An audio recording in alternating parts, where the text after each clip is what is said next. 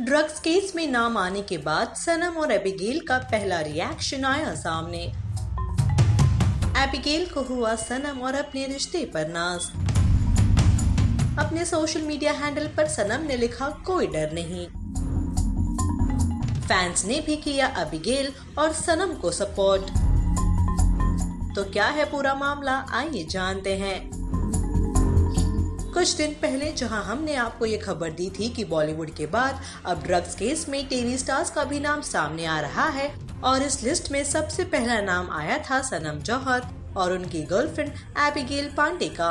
NCB ने दोनों से घंटों पूछताछ भी की थी और अब कई दिनों से सोशल मीडिया से गायब होने के बाद सनम और एबिगेल दोनों ने अपने सोशल मीडिया हैंडल पर एक दूसरे के साथ पिक्चर अपलोड करते हुए लिखा काफ़ी इमोशनल पोस्ट, एबिगेल ने लिखा। Stronger together proud of you proud of us सच्चाई हमेशा हमारी बेस्ट क्वालिटी रहेगी।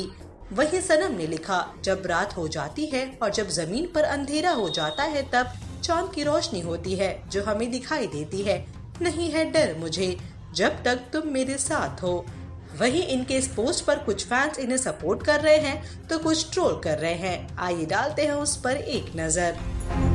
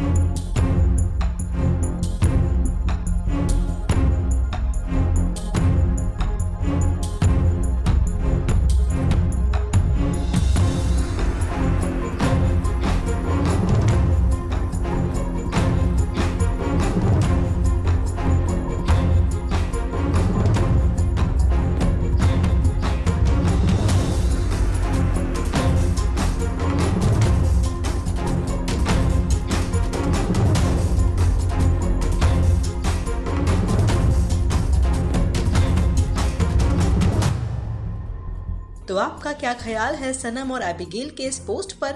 अपनी राय हमें कमेंट सेक्शन में ज़रूर बताएँ और देखते रहिए टेली मसाला।